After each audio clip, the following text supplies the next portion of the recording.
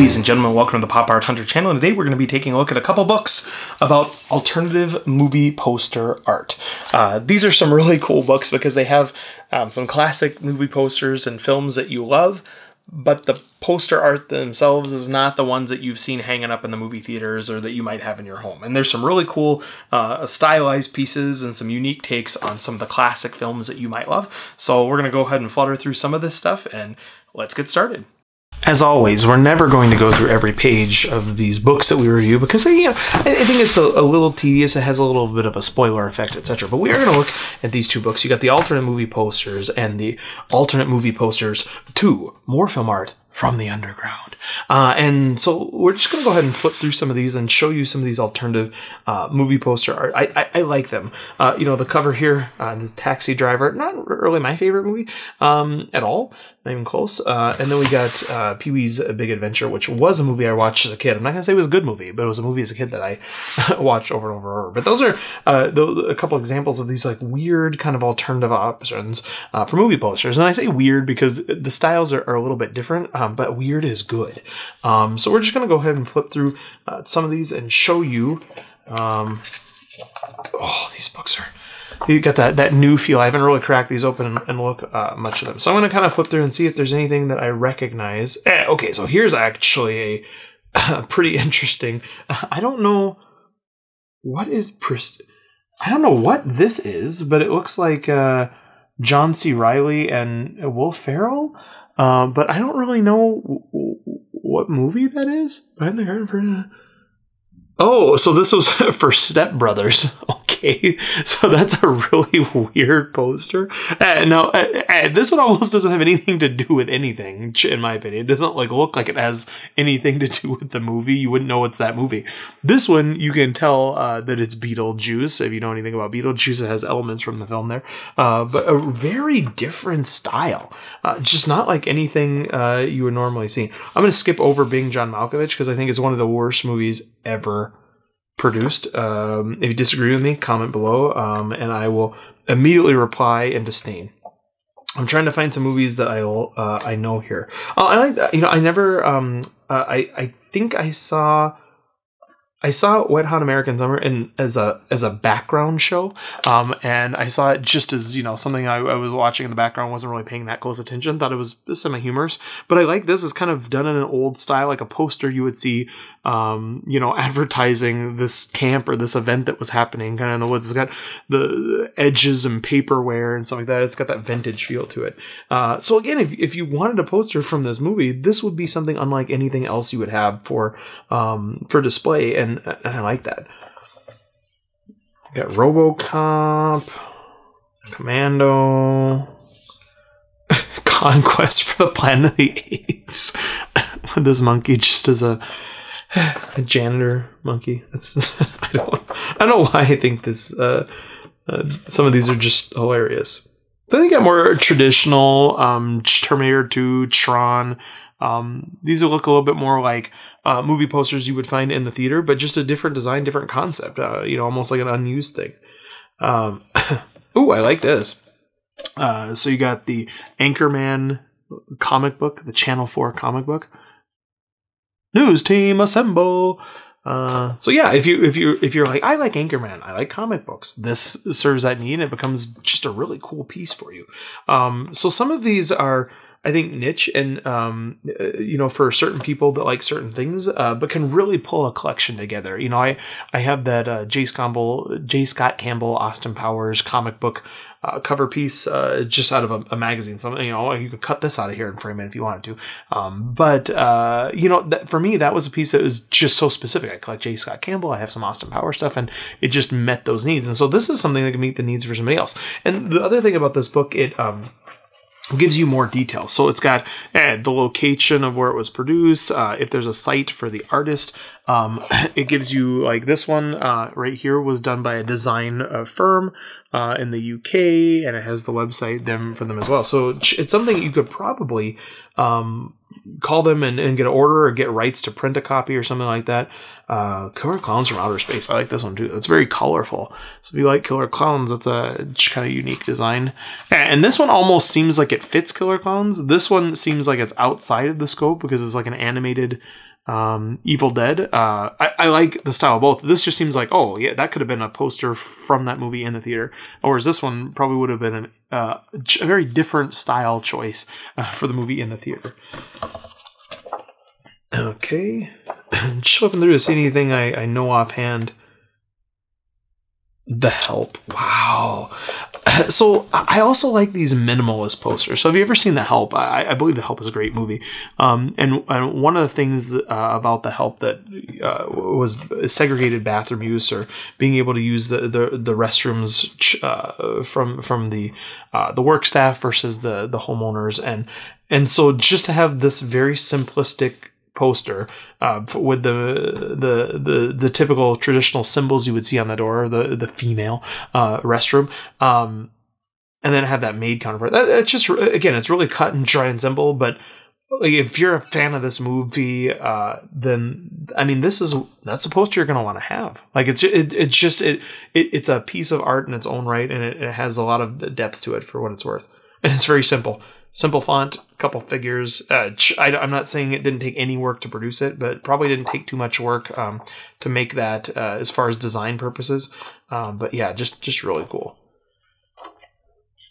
okay, well that's some from this book. Let's go ahead and uh, crack open the movie posters two book. See if we see anything in there that we like. Oh, so these have um, these have some of the older posters, uh, uh, Attack of the Crab Monsters. I'm assuming that's a real movie.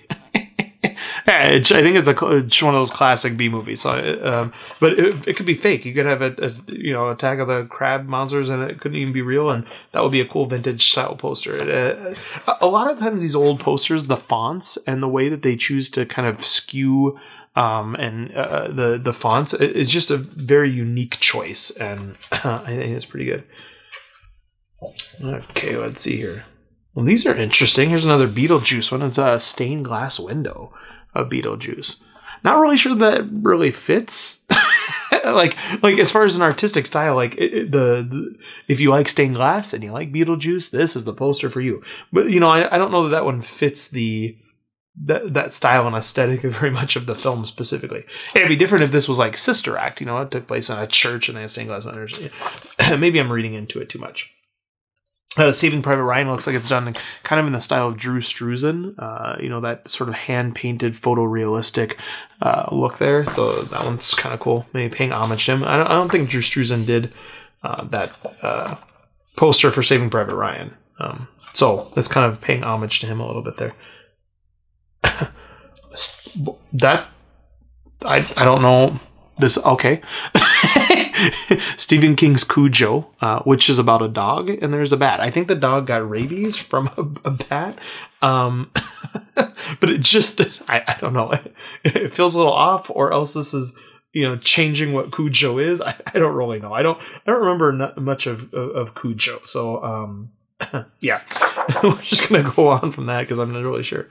Oh, John Waters' Pink Flamingo. Uh, never saw it, never want to, but can appreciate uh, Divine and and and John Waters uh, ch- finding himself so that he could produce better things like let's say Hairspray. Not saying this isn't good. Definitely going to be uh, what do you call weird uh, in my opinion. Hmm. Day of the Dead. Oh, you know what? Here's the thing about this. I hate so many movies. I also hate Fight Club, uh, but these posters are kind of cool as character pieces. Um, you know, and and and they're done as uh, sort of artistic style, very simple, very minimalist. Uh, looks almost like a, a watercolor. Uh, it's got paint and strips and such, which would be the blood. Uh, so it's really cool poster. So I can appreciate the art of the poster, even though I don't appreciate the the movie itself. Maybe. Um, Oh, so this is a it's sort of like an in uh, like a propaganda poster that would have appeared in the movie Mars Attacks. Uh, that's kind of cool. Reminds me of almost like a, um, a Starship Troopers. Like, would you like to know more? And they'd have those little infomercials in between. Oh, let's go back for a second. Big Hero 6 was okay. I don't remember thinking it was my favorite movie, but um, this is kind of a cool poster in, in that, uh, you know, style um, you know, some of those Japanese anime characters uh, and ch- cartoon characters, uh, kind of this, you know, big bubbly sort of look. This almost looks like uh, the animation in Super Meat Boy uh, a little bit. a couple more. Suddenly. Oh, so this is from uh, Little Shop of Horrors. I, for a moment, for a moment, I was like, "Oh, from Ghostbusters." It's the uh, you know Rick Moranis and then uh, uh, Annie Potts, I think, was the secretary character. I almost thought that was them for a second. I was like, "Was she blonde? That doesn't look like Annie Potts." Anyway, so and then he also has kind of a Marty McFly jacket going on there. So for a second, I was like, Rick Moranis wasn't in Back to the Future. Uh, no, it was a Little Shop of Horrors. okay. See if we can find it. Oh, Django Unchained. Uh, I believe Django is a, a, a, good movie. It's an interesting poster for it as well.